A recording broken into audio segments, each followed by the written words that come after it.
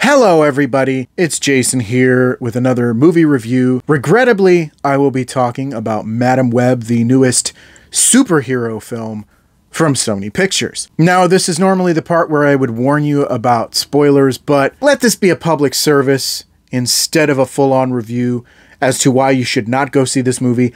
I've seen this movie so that you don't have to, but if you're a glutton for punishment and you don't like spoilers at all, then I guess go ahead and go see Madame Web. I'll wait.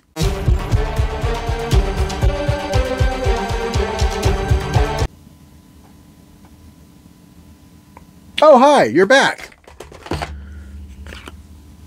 So, Madame Web, I just have one question about this movie. Who do I have to talk to to get that two hours of my life back? Madame Web is not even a movie that's so bad it's good. It's so bad it's bad. It no longer makes bad movie nights fun if you're going to watch Madame Web. I've never seen Morbius, but I would dare say that Morbius is a better movie than Madame Web. I owe the folks in charge of Black Adam an apology. I owe the folks from Aquaman and the Lost Kingdom an apology. Any of the worst Marvel movies ever made is nowhere near as bad as Madame Web. None of the performers could have made this movie any better. They tried. They really tried. They did the best with the material they had, and the material was nothing. It was just terrible. Absolutely terrible. Adam Scott, poor Adam Scott, trying the best he can to play Uncle Ben. He literally could have been any other character, but the only reason he was Uncle Ben was to connect it to Spider Man. Emma Roberts, yeah, she wasn't even advertised in the movie at all. She appears in it for five minutes,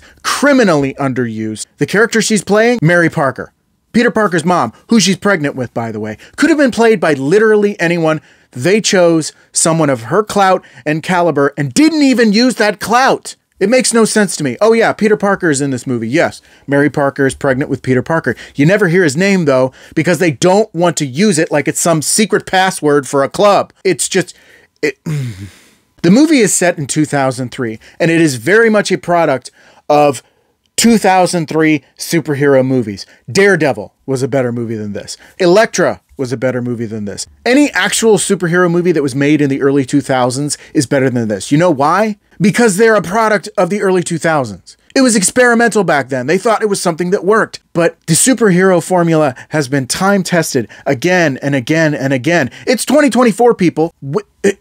Uh, There's some back and forth about whether Dakota Johnson actually likes this movie or dislikes this movie or is somewhere in the middle. I think she's somewhere in the middle. But you would probably say she really didn't have a good time making this movie based on her performance here. She definitely phones it in. I'm sure that Dakota Johnson is capable of a brilliant and multi layered performance.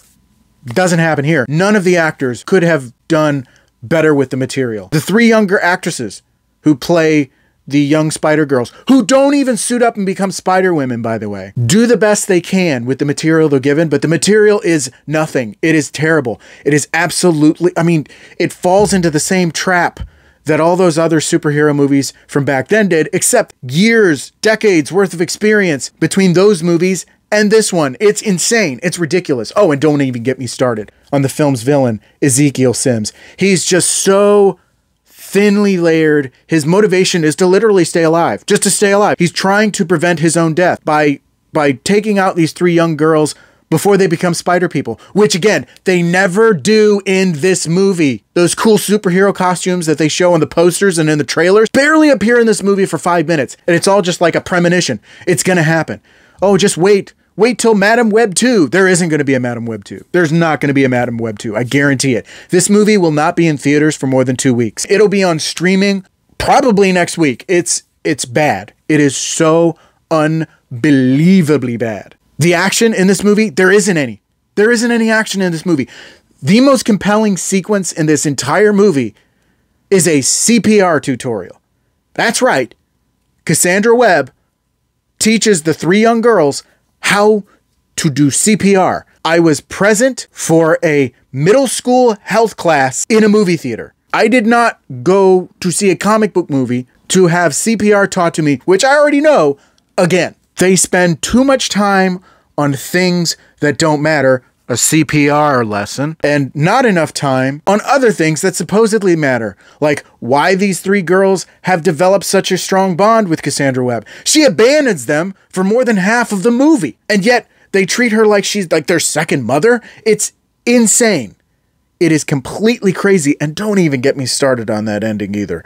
Oh my gosh. The way they set up the whole Madame Web costume, if you can call it that, is ridiculous. First of all, she's blinded in this final climax, which is just them running from this Ezekiel Sims guy, by the way. They're not even going to fight him, they're just running from him. She's using her precognitive powers to outthink him so she can help the girls escape from him. There's no fighting, there's no action. This is not a superhero movie.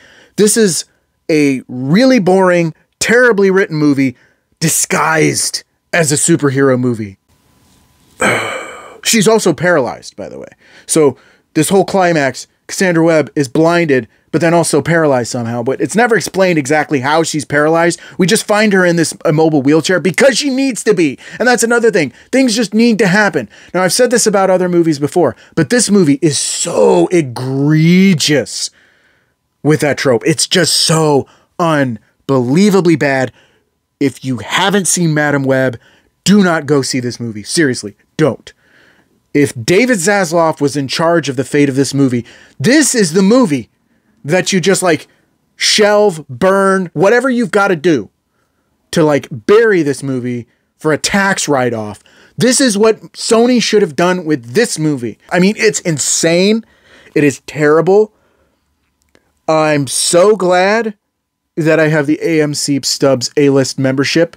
So I didn't actually have to put down actual money on this thing. I just wasted my time. I cannot stress enough. Madame Web is terrible.